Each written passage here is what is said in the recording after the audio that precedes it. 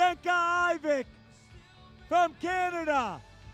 You are an Iron Man.